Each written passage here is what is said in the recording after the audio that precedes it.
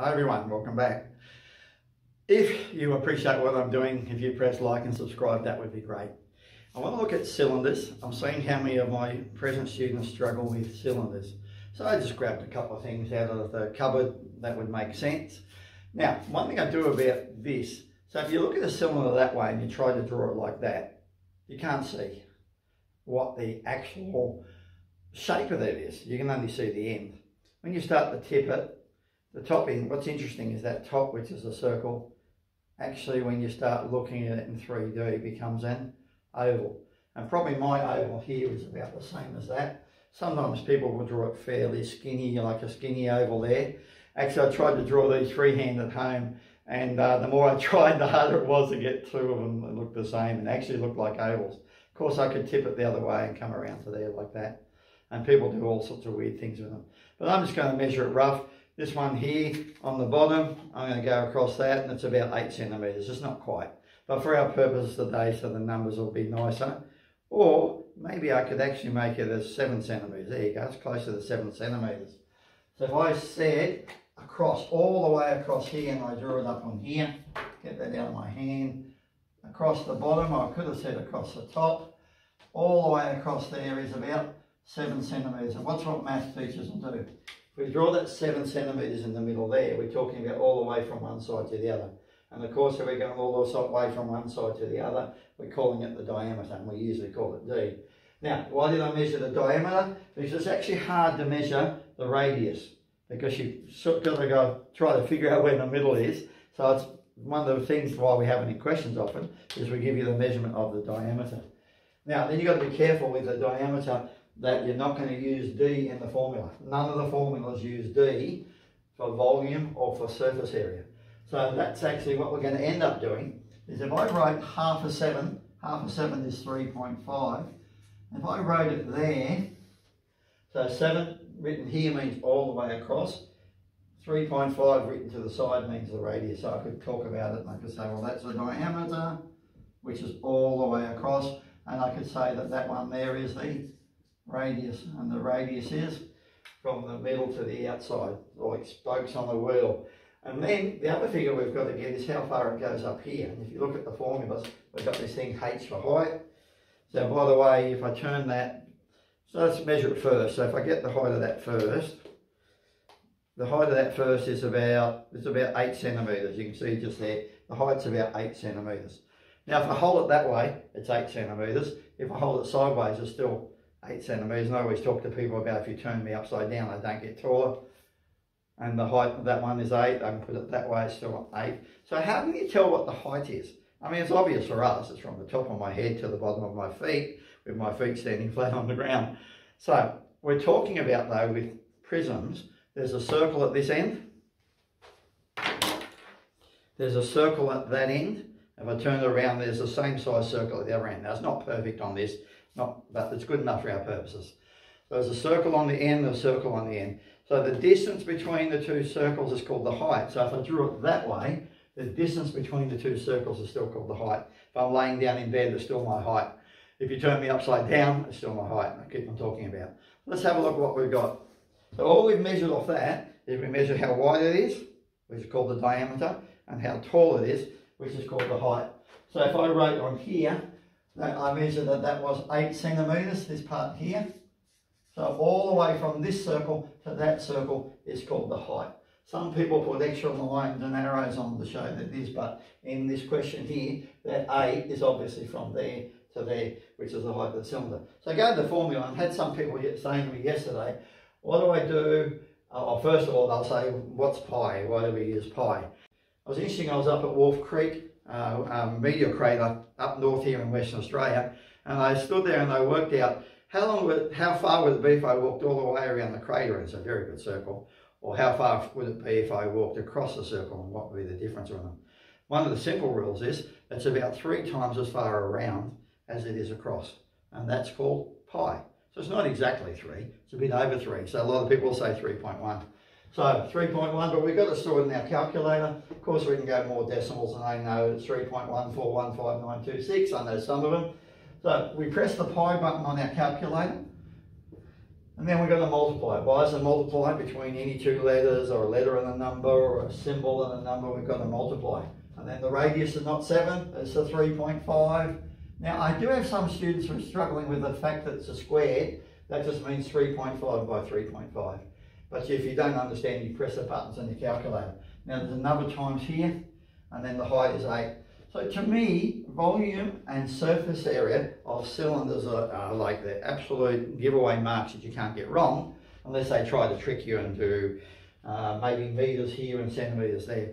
And by the way, of course, that little shape, I'm drawing it as that big shape up there so you can see what it is. Now, it's also not the scale as well. So if that was seven, would that be eight? It's actually pretty close. If that was seven, that's probably about eight if I measure it accurately. So we often talk about that this is not the scale. So we're not talking about measuring, we're talking about using your understanding of the formula to work out the answer. So on my calculator I have that as 307.876 and the numbers keep going on and on. I could have write down if we wanted to, zero, eight, maybe it's good to put for one, one. Now we're talking about volume, when we're talking about volume, we're talking about, in this case of centimetres, we're talking about centimetres cubed. And then we're back to rounding off. Now, a lot of people will say, make it accurate to one decimal place or two decimal places. I still talk about peekaboo all the time. So if I cover over, for example, I wanted two decimal places, I could write it as 87 or 0.87, I should be correct, it's not actually 87, 0.87, and the next number, you look at it, is it big or small? Most people are okay, the six are big. If that's a big number, which is bigger than five, instead of saying eight, seven, we're going to write eight, eight. And the reason we write 8, 8 is that this is actually closer to 8 than it is to 7. So we've got that written there as that. In the old school, they used to have to write 2 dp behind it, two decimal places.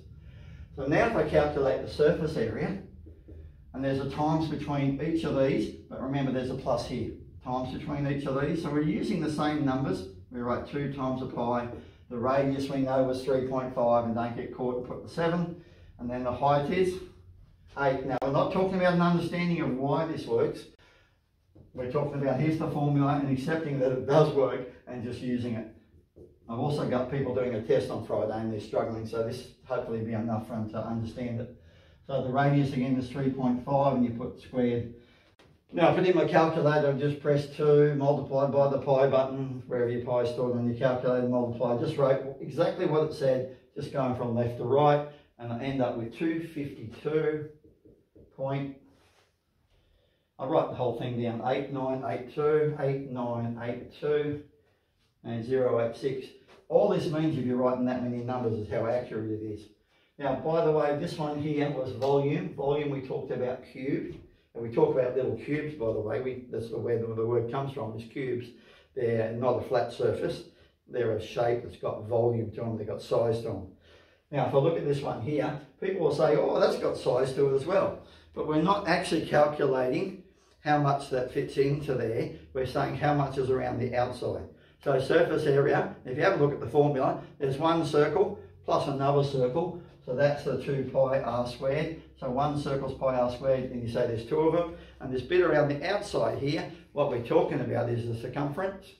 if you remember, the circumference is 2 pi r, and we're talking about 2 pi r times by the height.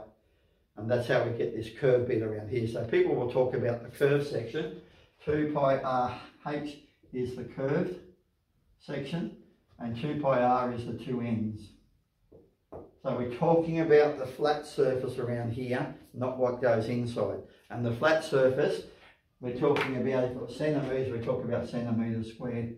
Now again, if I round it off, oh, I'm going to do this one on purpose. This is a bit weird. I'm glad it worked out that way. So is it going to be 89 or is it going to be 90? And I shouldn't say 89 or 90 because it's actually decimals. Is it 8, 9 or is it 9, 0? So after 8, 9, the next one becomes 9, 0. So let's have a look at it. So I cover over the 8. So is it going to be closer? So uh, I'm actually going to use the words 89. Is it closer to 89 or is it closer to 90?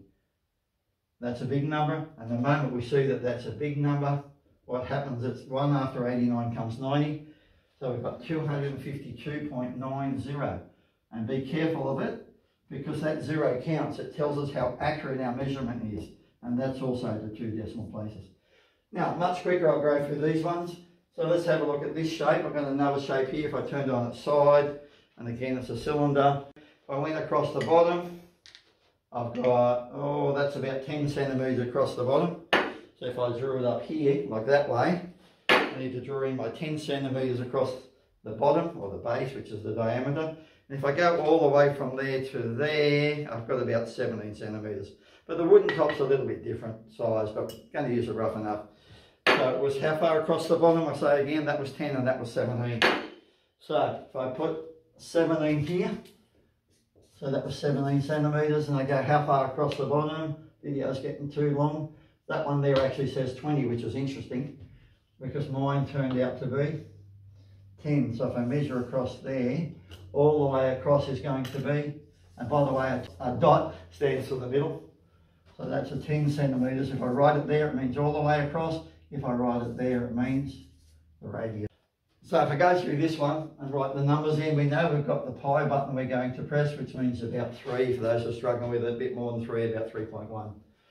And then we've got the radius is 5, not 10. And again, it's easier to measure that all the way across and then just halve it. That's 5 squared.